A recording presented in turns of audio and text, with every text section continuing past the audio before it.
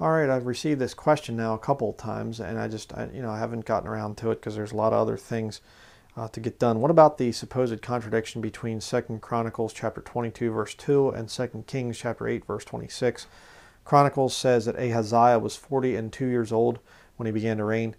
Um, uh, Kings, the one in Second Kings says that Ahaziah was 22 and 20 years old. So they say, well, which one is it? Is he 42 or 22? That's a contradiction. Um, well, you know, let me just explain something here. Um, this is a book here uh, from Peter Ruckman, a really, really good book on these supposed errors. And I bought this thing many, many years ago uh, when I was originally studying um, for the ministry way back quite some time ago, probably almost 20 years ago now. But this one probably about 15 years ago. But um, and I I thought to myself, you know, when I read these supposed contradictions, I thought, okay, I'll look and see what these two passages are. I'll just look at the verses and I'm going to put the book down and I'm going to pick up my King James Bible and I'm going to look at these two passages and I'm going to try to see if I can pick where they supposedly contradict. Most of the time I couldn't. Most of the time it was like I had to look and say, okay, what's the supposed contradiction? I don't get it.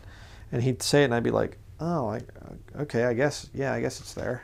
you know, uh, I approach the Bible as a believer, not as a skeptic, as a critic. Um, you can cut the Bible all up, make it say all kinds of stuff. Um, and that's that's the ones that come out with a question on this whole thing, and they pose it to Bible believers, and the Bible believer goes, "Okay, I don't know how to answer that. Looks like a real contradiction."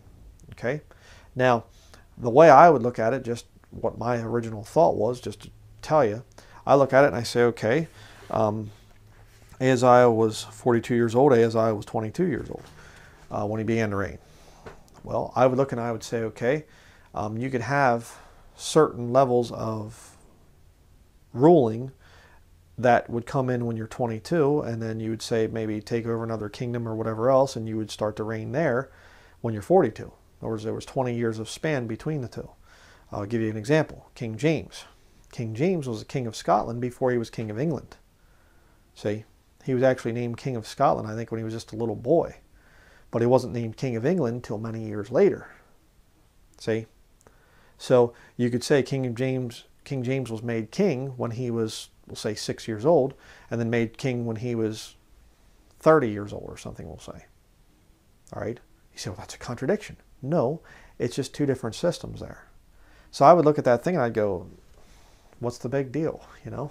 I mean, you could have two different guys that had different accounts or what you know i look at that and i go and that's a reason to throw out the bible you know but bible believing christians get this little attack. And so i'm going to read here uh, what ruckman has to say about this. Um, i usually try to do my own study and blah blah but you know i'm not the end all solution okay? I need to get that through to people. Um, and I, you know i'm not upset at anybody that sent me the question. Of course not. Certainly can ask me things but i'm going to point you to some good sources once in a while and say um, other people have done the work. You know, uh, preachers don't need to reinvent the wheel when they go into ministry. Okay, you can say, hey, you can listen, you can look at Ruckman's stuff here on the Bible contradictions. You can see some of the stuff in his commentaries there.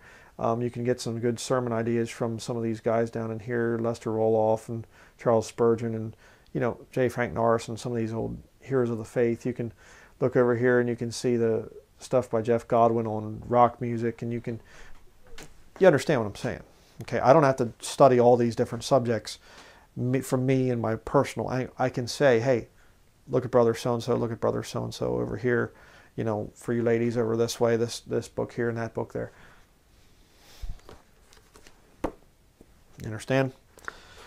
So, we'll read here.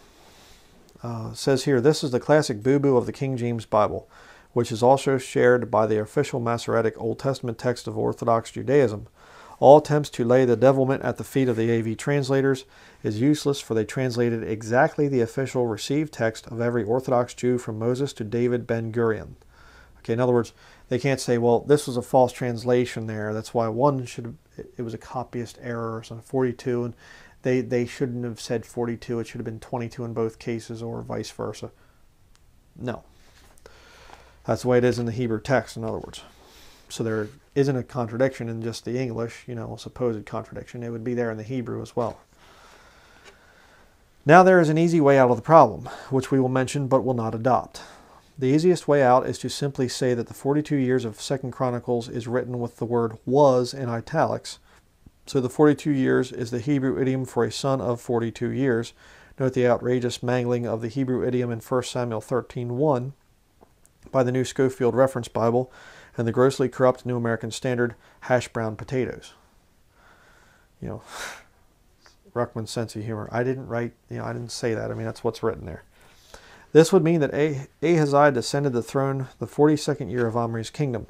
Omri's kingdom, which included the house of Ahab, comes in during the 31st to 32nd uh, year of the reign of Asa, 1 Kings 16:23. It is exactly 42 years from that time to the eighth year of Jehoram, 2 Kings 8 verse 16, if Jehoshaphat and Jehoram are consecutive. If the text is taken in that fashion, then Ahaziah is the literal youngest son of Jehoram, and his other name is Jehoahaz, and another name is Azariah. 2 Chronicles 22 verse 1, 2 Chronicles 21 verse 17, and 2 Chronicles 22 verse 6. In such a case, his mother was the granddaughter of Omri, 2 Chronicles 21 verse 6, not the daughter of Omri, 2 Chronicles 22 verse 2. Now this is the easy way out. If push came to shove, any Bible believer could resort to the method above, and no one alive or dead could prove that there is a genuine contradiction in the text. However, there are some interesting addendas to the account that will complicate matters considerably. Observe number one. Ahaziah, is said to be the son of Jehoshaphat in 2 Chronicles 22, verse 9. And Jehoshaphat is said to be the king of Israel, 2 Chronicles 21, verse 2. This is a remarkable turn of events, for Jehoshaphat was king of Judah, not Israel. In addition to being a son of Jehoshaphat, second point here, in Jehoram we read that Ahaziah was also the son-in-law to the house of Ahab, 2 Kings chapter 8 verse 27. Now how does Ahaziah become a son-in-law to the house of Ahab when he married Zibiah of Beersheba, 2 Chronicles 24 verse 1? He didn't marry any of Ahab's daughters or Omri's daughters. Number 3, point number 3. In 1 Kings 22 verse 26 is one of the most remarkable statements in the Bible it is a statement that the king's son named Joash is waiting back in Israel to take every one of the tribes of the dual kingdom, kingdom if Ahab or Jehoshaphat get killed. 1 Kings chapter 22 verse 26, chapter uh, verses 28 through 29 and 30 verse 34 and verse 37. The boy is only a 3-year-old, excuse me, only a 1-year-old, and he cannot ascend the throne until he is nearly 8. 2 Chronicles chapter 24 verse 1. In their mad haste to rid themselves forever of the hated King James text, the born again fundamentalists and evangelicals, who believed in the verbal plenary inspiration of the 10 o'clock newscast, forget to study the Bible. They were no more serious about their Bible studies than the members of the New Scofield Reference Bible or the Lockman Foundation. Ahaziah had given birth to Joash before he, Ahaziah, ever sat on the throne of Judah. You see, when Ahab was killed, a different Ahaziah took over the throne of Israel, 2 Kings chapter 1, not the Ahaziah whose mother was the daughter of Omri, and who said who was said to be the son of Jehoshaphat, not of Ahab, 2 Chronicles 22, verse 9. Even his other name, Ahaziah, appears in the list of Jehoshaphat's sons, 2 Chronicles 21, verse 2. Obviously, then, the Ahaziah of our problem was not Jehoram's literal son, and obviously, or not so obviously, if you are looking for alibis to reject authority, he was intended to be put on the southern throne, Judah, many years before he finally got there. His mother was Athaliah, who was Omri's daughter. That is, she was Ahab's sister, 1 Kings 16:29. If Ahaz, or excuse me, if Ahaziah was her son and Jehoshaphat was his father, then when Jehoshaphat joined affinity with Ahab, 2 Chronicles 18 verse 1, there was more involved than a military alliance. Jehoshaphat's title was King of Israel, 2 Chronicles 21 verse 2 signifying the ominous alliance. For Jehoram, his son, is said to have killed, quote, divers also of the prince, princes of Israel. End quote. To all purposes, if Ahab got killed, one of Jehoshaphat's kinfolks could take over Israel. Conversely, if Jehoshaphat died in battle, then one of Ahab's kinsfolk, kinfolk can take over Judah when Jehoram is uh, through. He does. Ahaziah, after the death of Jehoshaphat, is Ahab's nephew and a son in law to his household. Now, the only way he can be a son in law is by marrying one of Ahab's daughters or granddaughters. However, He must never we must never forget that Jehoram was in Ahab's house. If Ahaziah married any of Jehoram's daughters, he would be son-in-law to the house of Ahab. Zibiah, 2 Chronicles 24 verse 1, is bound to have been one of Jehoram's daughters. Now this reconciles everything except the statement that Ahaziah was Jehoram's son. However, we can read through enough Bible to know that a son-in-law can be a son, Luke 3.23, 1 Samuel 24, 24 verse 16. We also learned that Ahaziah could not have been Jehoram's literal son, for he was older than his father when his father died. His father was 40 years old. There is even a third possibility open. Jehoram could have married Athaliah after she gave birth to Ahaziah. This would have been this would have made Ahaziah Jehoram's stepson. If both father Jehoshaphat and son Jehoram came in unto the same woman, Athaliah, the glaring omission of Ahaziah, Uzziah, and Azariah in Christ's genealogy is perfectly explainable. Exodus chapter 20, verse 5. For this violates the law of Moses, Leviticus, Leviticus 18, verse 8. And this time it is a violation of the in the messianic line that leads to the throne of David. We have old Ahaziah spotted. He is not Jehoram's literal son. He is a stepson or a son-in-law at the most. He was Omri's pet because his mother was Omri's daughter, not granddaughter. 2 Chronicles 22, verse 2. This means that he was 22 years old during the fifth year of the reign of Jehoshaphat, which would be the seventh to eighth year of the reign of Ahab, Omri's son. Omri undoubtedly aspires to put him on the throne of Judah. Ahab begins the last or the long string of diplomatic exchanges, summit, summit conferences, and Camp David bull sessions. Sarcasm there, uh, if you can't tell. uh, which are to bring this about. In Jehoshaphat's third year, 2 Chronicles 17, verse 7, he prospers and rises to a powerful position in Palestine, 2 Chronicles 17, verses 10 through 11. After the fourth year, he joined affinity with Ahab, 2 Chronicles 18, verse 1, and it is at this point, the fifth to sixth year of Jehoshaphat and the eighth to ninth year of Ahab, that Ahaziah, Omri's grandson, is 22 years old. Since arrangements are made for him to succeed Jehoshaphat on the throne of Judah, he probably, like David, was anointed on the spot. Jehoshaphat is given the title of the king of Israel in case Ahab dies.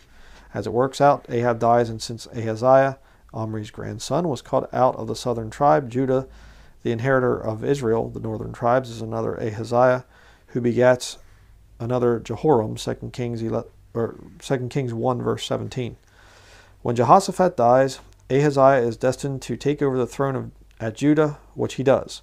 Jehoram's reign then of eight years must be a joint reign with Jehoshaphat during the latter's military alliances with Ahaziah, Ahab's son, and his defunct shipbuilding operations, 2 Chronicles chapter 20, verse 35 and verse 37. This means that Ahaziah, Ahab's son Israel, had a joint reign with Ahab beginning in Ahab's 17th to 18th year, and Jehoram, Ahab's, Ahab's grandson Israel, had a joint reign with Ahab the 19th year of Ahab's reign, three kings at one time, one sick, one in battle, and one on the throne. Ahaziah then is anointed to be the king of Judah at 22 years of age, but fails to sit down on the throne until he is 42. Okay? I mean, that makes sense to me. This tallies with all Hebrew, Greek, and English texts, unless they have altered the God given text in order to add converts to the greatest cult in the world, the Alexandrian cult of educated shysters. One should never abandon the King James text simply because 100% of the qualified and recognized scholars have sat in judgment against it and given their qualified opinions in favor of Satan. This is exactly what they do. If 100% of the good, godly, dedicated fundamentalists don't like, like the AV text, they can go sit on attack. Amen. So um, let me stick this thing back here where it usually sits. Um, if you have more questions about these contradictions and things, get the book. Um, you know, to me, I look at it and I just say, uh, it's God's word. It's not going to contradict. I know it's not going to contradict. Well, why is he 22? It's one says 22. Why is it 42? Well, there's a lot of logical explanations you come up with. I mean, you can, if you want the full description and the full how everything works out, get the book. Uh, if you just want to be a Bible believing Christian and, you know, you don't need all that, that's fine if you're into that stuff. But if you just want to be a Bible believing Christian, you just say, well, you know, um, could be that he was named king when he was 22, but didn't actually get to sit down on the throne until he was 42. Or it could be that there were two different kingdoms there, Judah and Israel. Uh, works out. Not a big deal. You know? So that's how I would answer that question. Um, just believe the book, people. And, and you get these people and they, they say, uh, you know, well, there's obviously a contradiction, so I have to reject the whole book. You know, it's just amazing to me. Um, the Word of God is likened to a double edged sword in Hebrews chapter 4, verse 12. It's quick, it's powerful, sharper than, sharper than, than any two edged sword. And you know, you think about that, you think of a, a double edged sword and you think, wow, it can cut both ways and things. And uh, that's really the point. You see, the Bible, it does cut both ways. To the saved, this book will lead you into the truth. The Holy Spirit will come down and He will guide you into all truth. And you'll look at this book and you'll go, wow, you know. Let me show you a verse of scripture to kind of back up what I'm saying here. 1 Thessalonians chapter 2, verse 13. Uh, really important verse.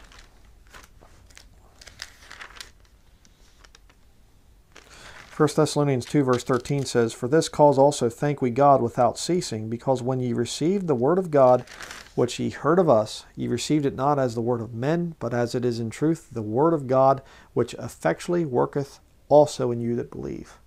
This book doesn't work for you. Revelation stops when you stop believing it. If you want God to open up the pages of this book, then you open it and you say, This is God's book.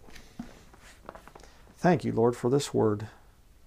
And you will be shocked at what the Lord will reveal from this book. Not the ones that come from the Vatican, like the NIV, NASV, ESV, all the other stupid ones. New King James mixes, tries to mix this and the Roman Catholic readings and stuff. It's junk. Throw it out with all the others. You'll be amazed at how great this book is. Very much amazed. And you aren't going to see contradictions in it. You're going to go, wow, this is amazing. You see?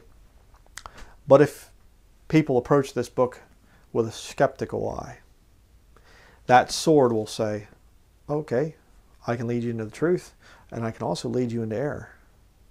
And you get people saying, I won't believe in Jesus Christ. I won't believe in eternity in heaven and things like that. Why? Because one verse says 22 years old and the other says 42 years old. stupid.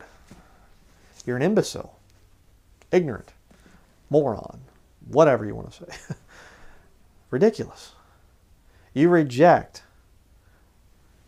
the God that created the universe, wrote about it in a book, and you reject all of that because one verse says 22 years old, the other says 42 years old. And there's ways to explain it. It's crazy. You say, well, I know this guy, he says he's a Christian, but he doesn't use the King James because of that contradiction, that supposed contradiction. And there's a few others, you know, you'll get, uh, it says Easter when it should be Passover. So you throw the whole book out because of that? And you actually do the study and you realize, oh, actually, it can't be Passover because it's, uh, you know, after the days of unleavened bread. Can't be the Passover when Herod intends to bring Peter forth and Herod is not a Jew, he's a pagan, which is why he would be celebrating Easter, the ancient pagan festival of, I think it's Astarte or Ishtar or something like different names from different cultures. But they reject the whole book based on something that some scholar has told them. And again, you know, why do people bring these things up to Bible believers? They're trying to shake your faith in the book. You know, you say, well, how do I describe this stuff to them? You say, it's not a contradiction. Okay, if you want the whole scholarly thing, get Ruckman's book. But I can look at that and I can say, well, couldn't it be that he just was 22 and he was given the title king, but he didn't actually sit on the throne until 42? Could it be that he had one kingdom there when he was 22 and ruled and reigning in that kingdom, and 42 when he got another one, like King James? Don't let people shake your faith in the book, brethren. So, like I said, if you have other questions, I think there's another one out there too, uh, another book on the supposed contradictions. Uh, I'm not seeing it right now. There is an, there are a couple books on these supposed contradictions in the Word of God. Um, You know, and another thing that you're going to have to watch out for, they'll say the Greek actually reads something or other, and what they won't tell you is that there are two different Greek texts, Nestle's and the Textus Receptus. And they say, yes, but I found a, a, place where the King James Bible does not even follow the Textus Receptus. Uh, yeah, because they would oftentimes use older translations than even some of the Greek manuscripts that underlied this. See, the King James Bible was the greatest translation ever in history. You say, how do you know that? By the fruit it produced. You'll never find a Bible that can produce the kind of fruit that the King James Bible produced. Never. Not going to happen. So, I mean, I can keep this thing going and going and going. I could show you so many of these new versions. I have a collection of them. I could show you so many of them that have come and gone and come and gone and come and gone. The New American Standard Version is actually the old American Standard Version, which came basically from the one from England, the Revised Version. Try to find a revised version sometime in a bookstore. Walk and say, I'd like to have an 1884, 1885, uh, the whole thing. 1881 is when the New Testament came out. Do you have an 1881 revised version, New Testament? no, they don't have it. They redo it and they redo it, redo it. You go into the Bible store and you say, I'd like to have a King James Bible New Testament. It's there. I know some of you say, you know, it's a lot of these Christian bookstores, they don't have them. Um, I'm very thankful to be in America where we can get a huge variety of King James Bibles. And uh, so, anyhow, there are no contradictions in the King James Bible. Uh, just read it and believe it, brethren. If you want to know more about the history of the King James Bible, you can check out my documentary for free. Won't cost you a cent, just a little bit of your time. Uh, the real Bible version issue exposed. I have it in different parts on this channel, my other channel. Uh, it's on there, the full thing high definition, the whole deal. Um, check it out. It's important that you have God's Word, not the other ones. Thank you for watching.